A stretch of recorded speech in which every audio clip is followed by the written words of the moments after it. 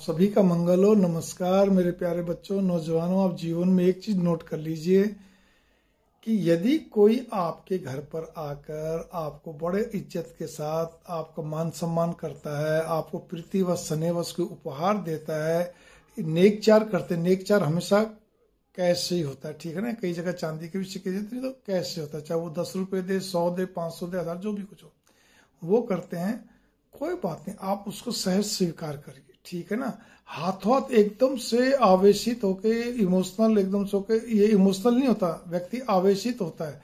उसकी खुददारी जो ना, अचानक ही कुछ ज़्यादा बढ़ जाती है। और वो अति खुददारी, वैसे भी हमेशा नुकसानदायक होती है, और वो अति खुददारी बस क्या करता है? वो उतना ही चीज़ क्या कहते फटाफट देने की हाथ हाथ देने की चेष्टा करता है। मन में उसके यही रहता है, हम किसी का रखते नहीं। अरे भाई, किसी के मान सम्मान को, प्यार दुलार को, सने को, प्रीति को स्वीकारिए।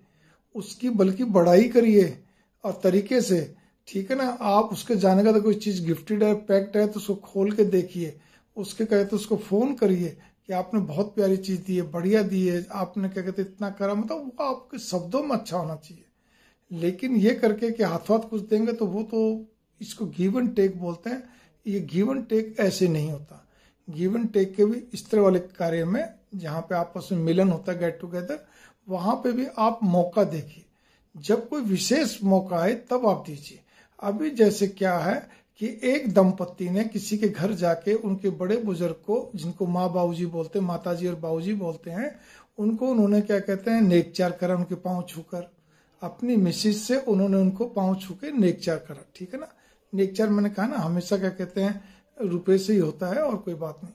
ठीक है जी। अब हुआ क्या? ये दीपावली से पहले की बातें हैं। उसके बाद क्या कहते हैं? वो दीपावली के तुरंत बाद ही क्या कहते हैं? वो भी आए, दो दिन छोड़ के। वो भी आए, अकेले आए। वो सज्जन ठीक है ना? और वो अकेले आए, अकेले आके उन्होंने घर में सबको क्या कहते हैं? पैसे बांटने शुरू कर दिए। तीन जगह दे दिया। ठीक है, पोता हुआ था, पोते को नाम का दे दिया, बहू को भी दे दिया, उसको भी दे दिया। वो तीन चार जगह उन्होंने क्या कहते हैं? फटाफट दे दिए अब सवाल इस बात का ये कि आपने तीन जगह अपने पैसे बांट दिए, हाथ हाथ, अरे भाई कोई घर की स्त्री आती तब तो अच्छा लगता। आप जोड़े से आते या माता जी आती या और कोई आता तो ये चीज़ें अच्छी लगती हैं। आप अकेले नौजवान लड़के ने आके इस तरह कर दिया, ये आपकी अति खुददारी है। ऐसा नहीं होना चाहिए। मैंने एक उदाहरण के लिए बताया। कई लोग क्या कहते हैं, फिर किसी न किसी बहाने से मिलने के बहाने जाएँगे कुछ न कुछ गिफ्ट शिफ्ट लगे वो भैया बे टाइम गिफ्ट शिफ्ट भी अच्छा नहीं लगता है। आप क्या करना चाहते हो? जहाँ आपसी संबंध है, वहाँ पे ऐसे अच्छा नहीं लगता है। आपके घर में कोई फ़ंक्शन हुआ है, कोई आपका अच्छी चीज़ हुई है, ठीक है, कई बार लोग दूर रहते हैं, आप उनको नहीं पहुँचा पाए तो वो तो ठीक है। आपसे दो महीने बाद ही पहुँचा रहे जी, वो दो महीने पहले का क्या रिश्तों में नहीं तो शादी ब्याह में कई बार कोई चीज़ें नेक चार मतलब आप मान लीजिए किसी ने भी लड़की वालों ने आपको नेक दिए जी, आपकी बेटी के लिए, आपकी उसके लिए, ननंद के लिए, आपके उसके लिए। और उस समय क्या होता, हम नहीं पहुँचा पाते, एक व्यक्ति बहुत दूर रहता है। लेकिन जब मिलना होता है या कोई जाता है तो हम उसको फिर पहुँचा देते उसमें कई बार, कई महीने भी लग जाते हैं, लेकिन वो चीज़ संभली भी रहती है।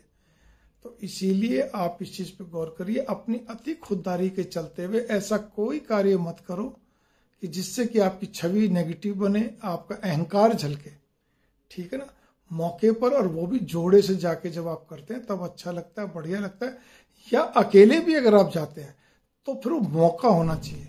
हाथ हाथ इस तरह से नहीं, ऐसे बहुत होते हैं। तो बच्चों, नौजवान, इस चीज़ का ध्यान रखिए। और तारीफ़ करने में कंजूसी मत करिए आप। शब्दों से जब वो चले जाए तो उनका सामान देख के अगले दिन आप तारीफ़ करिए। अच्छा रहेगा, बढ़िया रहेगा मंगल काम